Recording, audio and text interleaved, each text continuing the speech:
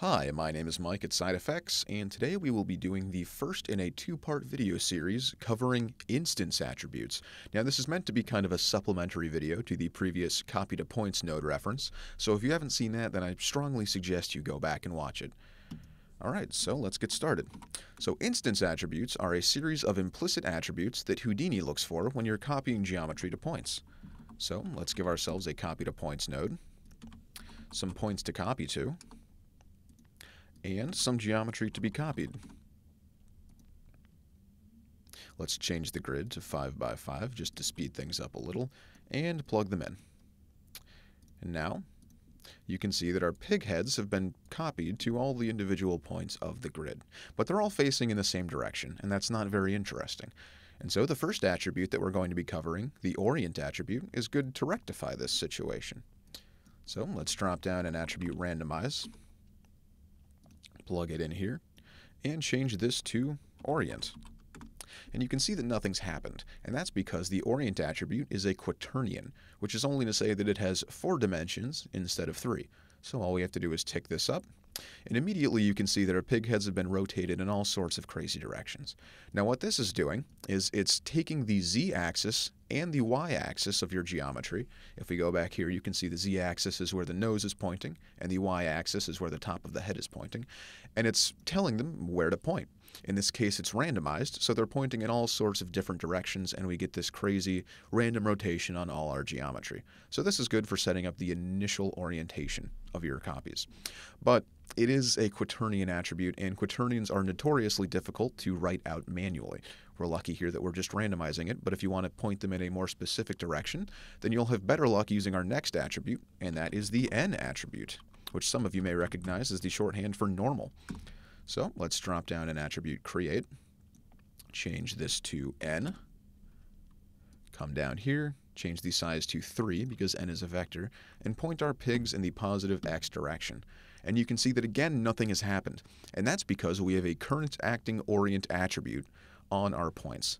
And if there's an orient attribute and an n attribute, the orient attribute will always take priority. So all we have to do is get rid of this. And now you can see that our pigs have snapped to face the direction that we told them, that being the positive x-axis. Now again, just like the orient, this is taking the z-axis of your geometry, again that would be the nose, and pointing it in the direction that you tell it. So in this case, we've told the nose to face towards the positive x direction, and that is exactly what we're getting. All right, next up is the up attribute, and this serves as the companion to n to kind of achieve the exact same effect that the orient was getting for us. So let's drop down an attribute randomize, plug it in under n, whoopsie, plug it in under n, change this to up, and let's give ourselves some more values to work with. Change this to negative 1, negative 1, and negative 1. There we go. And so now you can see, just like the orient attribute, our pigs have been randomized in rotation again, just pointing all over the place.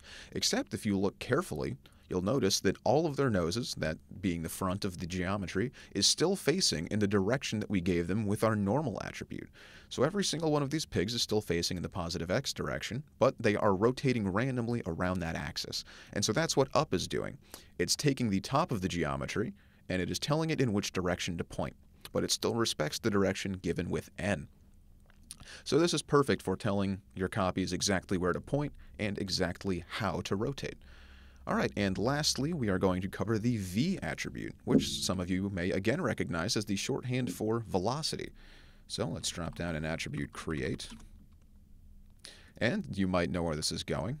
We're going to set this to 3, and we're going to change this to v. And let's go a little crazy. Let's move them up 50 units in the y direction. And again, nothing is happening. And that's because there's an acting n attribute on our pigs and n takes priority over v, and orient takes priority over n. So there's kind of an order of operations going on. So if we delete this, you can see that the up attribute is still doing its work, but our pigs have now changed to point in the direction that we have specified with v.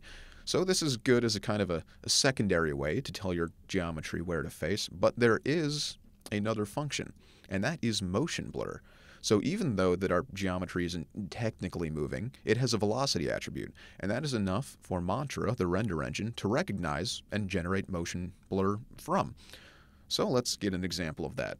First, we'll need to come up here to our OBJ context, change to the Render tab, go into the Sampling tab, and switch No Velocity Blur to Velocity Blur.